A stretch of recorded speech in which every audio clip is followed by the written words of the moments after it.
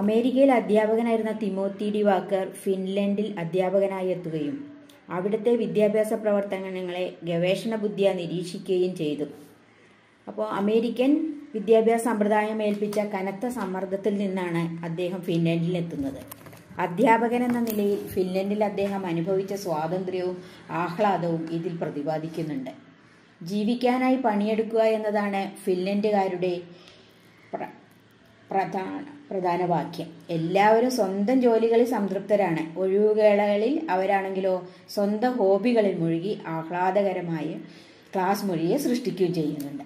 ആഹ്ലാദകരമായ class മുറിയെ സൃഷ്ടിക്കുന്ന ഏറ്റവും നിർണായകമായ ഘടകം മനോഘടന തന്നെയാണെന്ന് പറയാം.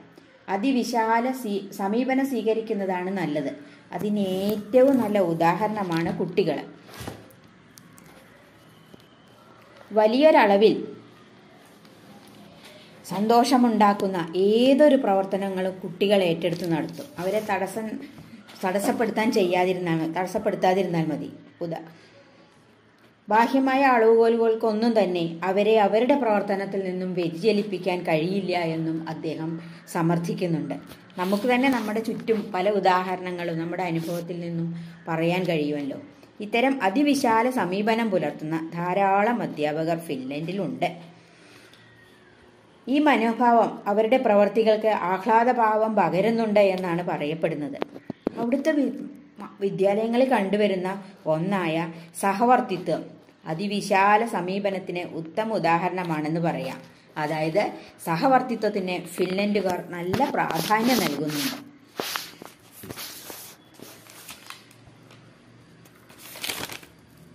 ക്ലാസ് മുറിയിൽ സന്തോഷം നിലനിർത്താൻ അധ്യാപകർ അതിവിശാലമായ ഒരു സമീപനം വളർത്തിയെടുക്കേണ്ടതുണ്ടെന്നാണ് ഗ്രന്ഥകാരൻ പറയുന്നത്. അതായത് മറ്റുള്ളവരെക്കാൾ കേമത്തം തനിക്ക് ഉണ്ടാവണം എന്ന മത്സര മനോഭാവത്തിന് പകരം സഹാധ്യാപകർ എങ്ങനെ മെച്ചപ്പെടുന്നു എന്ന് നോക്കാതെ നമുക്ക് ഓരോരുത്തർക്കും സാക്ഷാത്കരിക്കാൻ കഴിയുന്ന മികവുകൾ നാം കണ്ടെത്തണം. ആ കാഴ്ചപ്പാടിലേക്ക് നാം മാറുകയും വേണം. അധ്യാപനത്തിൽ ലോകവീക്ഷണം വളർത്താൻ ഉതകുന്ന ആറ് തന്ത്രങ്ങളാണ് ഈ അധ്യായത്തിൽ നമുക്ക് കാണാൻ സാധിക്കുക.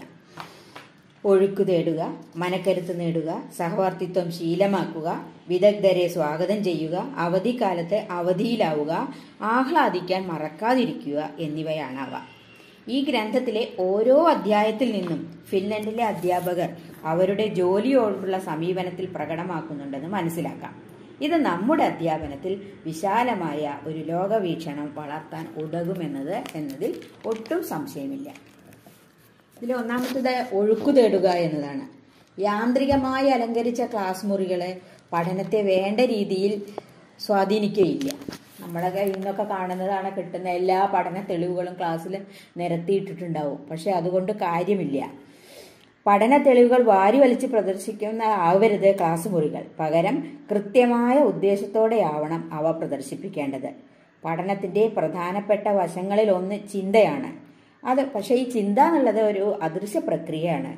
ഉചിതവും അർഹവുമായ രചനകൾ മാത്രമേ നമ്മൾ പ്രദർശിപ്പിക്കാവൂ എന്ന് അധ്യാപകർ തീരുമാനിക്കണം. ഇത് കുട്ടികളെ അവഗണിക്കുകയല്ല പക്ഷെ അവർക്കുള്ള അംഗീകാരമായിട്ട് കരുതാണ്. അത് ആദ്യം ഇല്ലെങ്കിലും അത് പിന്നീട് അവർക്കുള്ള അംഗീകാരമായി മാറുക തന്നെ ചെയ്യും. ഓരോ പഠനോൽപ്പത്തിനും അതിന്റെതായ പ്രസക്തിയുണ്ട് എന്ന് അധ്യാപകർ ഓർക്കണം. ഏർപ്പെടുന്ന പ്രവൃത്തികളിൽ പൂർണമായും ഒഴുകുന്ന ഒഴുക്ക് എന്ന അവസ്ഥയിലാവണം നമ്മളും. അപ്പോഴാണ് നമ്മുടെ അഹമില്ലാതെയോ ഞാൻ ഞാൻ എന്ന ഭാവം അധ്യാപകർക്ക് ഇല്ലാതിരിക്കുക തന്നെയാണ് നല്ലത്. അത് തന്നെയാണ് അദ്ദേഹം പറയുന്നത്.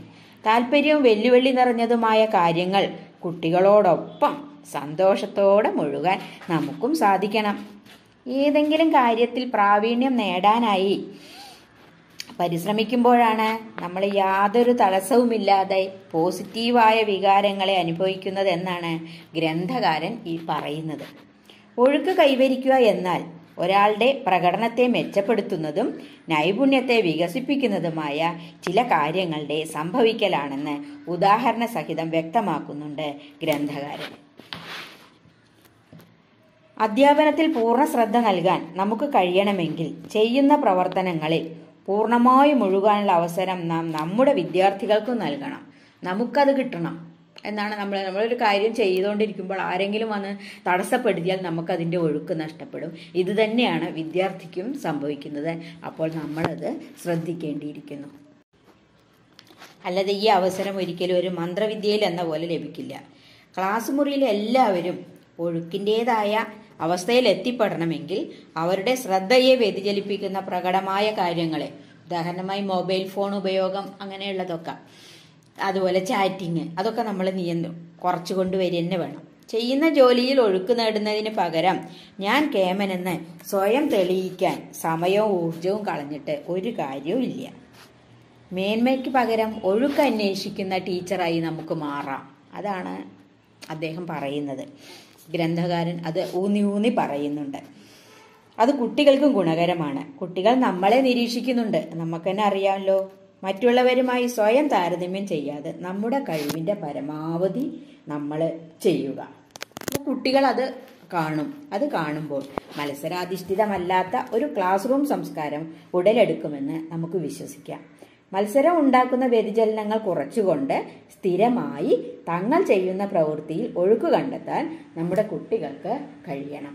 അതിനുള്ള ഉദാഹരണങ്ങളും പിന്നെ വിശദമായിട്ട് തന്നെ ഈ പുസ്തകത്തിൽ പ്രതിപാദിക്കുന്നുണ്ട്. അടുത്ത നമ്മൾ ചെയ്യേണ്ടത് മനക്ക അടുത്ത ഭാഗം മനക്കരുത്ത് നേടലാണ്. ഫിൻലൻഡിൽ വെച്ച് ഒരു മെന്ററെ കിട്ടിയ മെന്റർ ടീച്ചറെ കിട്ടിയ കാര്യം ഗ്രന്ഥകാരൻ പറയുന്നുണ്ട്. ഒരിക്കൽ ഒരു രക്ഷാകർത്ത നീശ നമ്മുടെ സ്കൂളിലൊക്കെ രക്ഷാകർത്ത സമ്മേളനം നടക്കണ പോലെ ഇവിടെ രക്ഷാകർത്ത നിശ നടത്തിയിരുന്നു.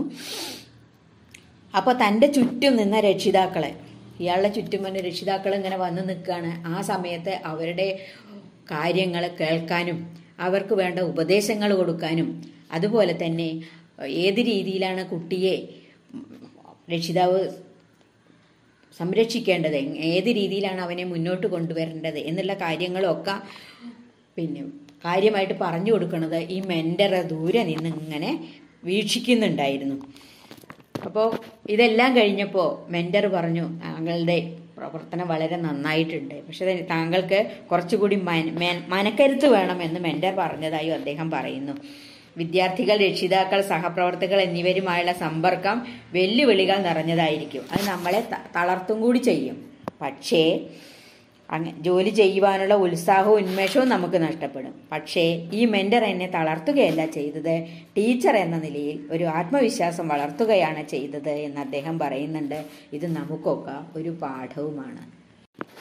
അധ്യാപകന് എന്ന നിലയിൽ ഒരു ഡയറി ഓരോരുത്തരും കൈകാര്യം ചെയ്യാം എന്ന് കാര്യം ഗ്രന്ഥകർത്താവ് ഊന്നി പറയുന്നുണ്ട്. അധ്യാപകൻ എന്ന നിലയിൽ കൈക്കൊണ്ട രീതി ആ ദിവസത്തെ അനുഭവങ്ങൾ അതുപോലെ ആകുലതകൾ എന്നിവയിൽ എന്നിവ ഡയറിയിൽ ഉൾപ്പെടുത്തും. കടക്കണേന്റെ മുമ്പ് തന്നെ അത് എഴുതി വെച്ചിട്ടാണ് അത്രയും അദ്ദേഹം കടന്നിരുന്നത്.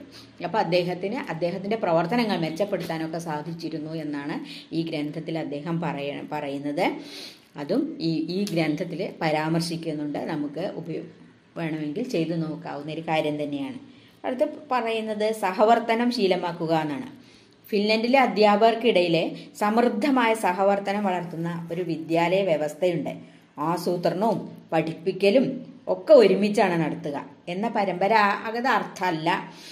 കേവല സഹകരണം മാത്രമല്ല അവർ നടത്തിയിരുന്നത്. അധ്യാപനത്തിന്റെ ഭാരം അവർ പരസ്പരം പങ്കിട്ട് ശരിക്കും ഒരുമിച്ച് അധ്വാനിക്കുകയാണ് അവർ ചെയ്തിരുന്നത്. ക്ലാസ്സിന് വേണ്ട വിഭവങ്ങൾ കണ്ടെത്താനും സംഘടിപ്പിക്കാനും വേണ്ടി അവർ അന്യോന്യം സഹായിച്ചു. പിന്തുണ ആവശ്യമുള്ള ഓരോ കുട്ടിക്കും മികച്ച രീതിയിൽ അവ നൽകി. അതിനുവേണ്ടി ചർച്ചകൾ സംഘടിപ്പിച്ചു എന്നും ഒരുമിച്ച് പാഠ്യപദ്ധതി വിശകലനം നടത്തിയതായും അദ്ദേഹം പറയുന്നുണ്ട്. എന്തിനധികം സ്കൂളിലെ വിശ്രമവേളകളെ കുട്ടികൾക്ക് വേണ്ടി എങ്ങനെ മെച്ചപ്പെടുത്താമെന്നും അവർ ചർച്ച നടത്തി. അവരവിടെയാണെങ്കിലോ പരീക്ഷകൾ നടത്തി ഗ്രേഡിങ് ഒന്നിച്ച് നടത്തുന്നു. ഇത് എപ്പോഴാണ് നടത്തുന്നത് എന്നുള്ളതാണ് അദ്ദേഹത്തെ അത്ഭുതപ്പെടുത്തിയത്. കാരണം ഇടയ്ക്കുള്ള ഒഴിവുകളിൽ പതിനഞ്ച് മിനിറ്റ് സമയം ഒഴിവ് ഉള്ള ഒഴിവുവേളകൾ കിട്ടുമ്പോൾ അതിൽ കാപ്പി കുടിക്കുന്ന ആ സമയത്താണ് ഇവർ ഇതും കൂടി കണ്ടെത്തിയിരുന്നത്. അത് അത് അത്ഭുതപ്പെടുത്തി. അവർക്ക് സഹകരണം എന്നത് ഒരു ശീലമാണ്. പ്രവൃത്തി ദീനം തീരുമ്പോഴുള്ള ഒരു കൂട്ടിച്ചേർക്കലല്ല. പഠന നേട്ട വ്യാഖ്യാനമായല്ല. താൽക്കാലിക ടീം വർക്കായിട്ടല്ല അവരതിനെ കാണുന്നത്. സഹവർത്തനത്തെ ഒരു ആഡംബരമായി അവർ കാണുന്നില്ല. മറിച്ച് ഒരു ആവശ്യമായിട്ടാണ് അവർ കാണുന്നത്. ഫിൻലൻഡുകാരുടെ പ്രത്യേകത തന്നെയാണത്. ഈ സഹവർത്തനത്തിന്റെ ഗുണങ്ങളും പ്രയോജനങ്ങളും നേരിട്ട് ബോധ്യപ്പെട്ട ഈ ലേഖകനും സഹപ്രവർത്തകരെ ആശ്രയിച്ചു എന്ന് അദ്ദേഹം പറയുന്നുണ്ട്. പല കാര്യങ്ങൾക്കും സഹപ്രവർത്തകരുടെ അഭിപ്രായം തേടുകയും അവരെ ക്ലാസ്സിൽ കൊണ്ടുവന്ന് ക്ലാസ് എടുപ്പിക്കുകയും തന്റെ വിദ്യാർത്ഥികൾക്ക് വേണ്ടി ക്ലാസ് എടുപ്പിക്കുകയും ഒക്കെ ചെയ്തു എന്ന് അദ്ദേഹം പറയുന്നുണ്ട്. പരീക്ഷണശാലകളിൽ നേരിട്ട് കൊണ്ടുപോയിട്ട് ക്ലാസ് എടുപ്പിക്കുക. അങ്ങനെയുള്ള പല കാര്യങ്ങളും ചെയ്തതായി അദ്ദേഹം ഈ ഗ്രന്ഥത്തിൽ പരാമർശിക്കുന്നുണ്ട്. സഹവർത്തന ശീലമാക്കുക എന്ന് പറയുന്നതോടൊപ്പം തന്നെ അധ്യാപകർ സഹവർത്തന സഹപ്രവർത്തകരുമായി അനൗപചാരികവും സ്വാഭാവികമായ രീതിയിൽ പ്രവർത്തിക്കാൻ ശ്രമിച്ചു തുടങ്ങണമെന്നും അദ്ദേഹം നമ്മളോട് പറയുന്നു. നല്ല രീതിയിൽ സഹവർത്തനം നടത്താൻ നമ്മൾ എന്ന മനോഭാവമാണ് വളർത്തിയെടുക്കേണ്ടത്. അല്ലാതെ ഞാൻ എന്ന മനോഭാവമല്ല അവിടെ ഉണ്ടാകുന്നത് അത് വിദഗ്ധരെ സ്വാഗതം ചെയ്യുക. വിദഗ്ധരായ ആളുകളെ ക്ലാസ് മുറിയിൽ കൊണ്ടുവന്ന് നമുക്ക് ക്ലാസ് എടുപ്പിക്കാൻ പറ്റും. അവരുടെ ക്ലാസ് മുറികൾ അവർ വിദഗ്ധരെ സ്വാഗതം ചെയ്യുന്നു. സ്കൂളിന് പുറത്തുള്ള വിദഗ്ധരെ മാത്രമല്ല അവർ സ്കൂളിനകത്തുള്ള വിദഗ്ധരുടെ സാന്നിധ്യവും അധ്യാപകരുടെ സാന്നിധ്യവും സഹകരണവും എല്ലാ ക്ലാസ്സുകളിലും പരസ്പരം അവർ പങ്കുവയ്ക്കുകയും അതിനു വേണ്ടി ധാരാളം സമയം അവർ ചെലവഴിക്കുകയും ചെയ്യുന്നുണ്ട്. പിന്നെ ഇവിടുത്തെ ഒരു പ്രത്യേകതയാണ് അവധിക്കാലത്ത് അവധിയിലാവുക. അവധിക്കാലത്ത് അധ്യാപനത്തിൽ മുഴുകാതെ കുടുംബത്തോടൊപ്പമോ സുഹൃത്തുക്കളുടെ ഒപ്പമോ തനിച്ചോ മലമ്പ്രദേശങ്ങളിലൊക്കെ ചെലവഴിക്കണം എന്നാണ് ഈ ഗ്രന്ഥകാരൻ പറയുന്നത്. ഗ്രന്ഥകാരൻ തന്നെ ഒരു അനുഭവം ഉണ്ടായി ഇത്ര അദ്ദേഹം ജോലി ചെയ്യുന്ന സമയത്ത് അവധിക്കാലത്ത് അദ്ദേഹത്തിന്റെ പ്രിൻസിപ്പാൾക്ക് ഒരു ഇമെയിൽ അയച്ചിട്ട് അതിന് മറുപടി കിട്ടാൻ അവധി കഴിയേണ്ടി വന്നു അത്രേ. നമ്മുടെ ഇവിടെയൊക്കെ ആണെങ്കിൽ അവധിക്കാലത്താണ് ധാരാളം പരിശീലനങ്ങളും വർക്കുകളും ഒക്കെ നടക്കുന്നത്. വേനൽ അവധിക്കാല മനോഘടനയെ ആശ്രയിച്ച് കുറച്ചു ദിവസങ്ങളോ ആഴ്ചകളോ മാറ്റിവെക്കുകയും ഇമെയിൽ സാമൂഹ്യ മാധ്യമങ്ങൾ എന്നിവയിൽ നിന്ന് വിട്ടുനിൽക്കുകയും ചെയ്യുന്നത് വളരെ പ്രയോജനകരമാകുമെന്നാണ് അദ്ദേഹം പറയുന്നത്. കുടുംബത്തിന്റെയും സുഹൃത്തുക്കളുടെയും ഇടയിൽ സാന്നിധ്യം വർദ്ധിപ്പിക്കാനും ശാരീരികമായി സക്രിയരാകാനും പ്രകൃതിയെ നന്നായി ആസ്വദിക്കാനും നമുക്ക് പ്രചോദനം പ്രചോദനം നൽകുന്ന ഒന്നാണിത്. നമുക്കും പ്രയോജനപ്പെടുത്താവുന്ന ഒരു കാര്യം തന്നെയാണ് ഇത് എന്നാണ് തോന്നുന്നത്. ഇതിലെ അവസാനത്തെ ഭാഗമാണ് ആഹ്ലാദിക്കാൻ മറക്കാതിരിക്കുക.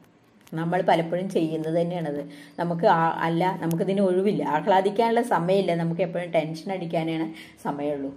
പക്ഷെ അതിനെ മാറ്റി നിർത്തണം. ആഹ്ലാദിക്കാൻ സമയം നമ്മൾ കണ്ടെത്തണം എന്നാണ് ഈ ഗ്രന്ഥകാരൻ പറയുന്നത്. വിദ്യാലയത്തിൽ ആഹ്ലാദത്തിന് മുൻഗണന നൽകുക. ആഹ്ലാദത്തെ ഒരു പ്രധാന പഠന ആശയമായി ഫിൻലൻഡിൽ നടപ്പാക്കിയിട്ടുണ്ട്. അത്ഭുതകരമായ മാറ്റം ദർശിക്കാൻ കഴിഞ്ഞതായിട്ടും ലേഖകൻ പറയുന്നു. വിദ്യാലയത്തിലെ ആഹ്ലാദത്തിന് ആഹ്ലാദത്തിന് വേണ്ടിയിട്ട് ആഹ്ലാദിക്കാൻ മറക്കാതിരിക്കാൻ അവർ മുൻഗണന നൽകുന്നു. നമ്മുടെ പ്രയാസങ്ങൾ കുട്ടികളെ അറിയിക്കും.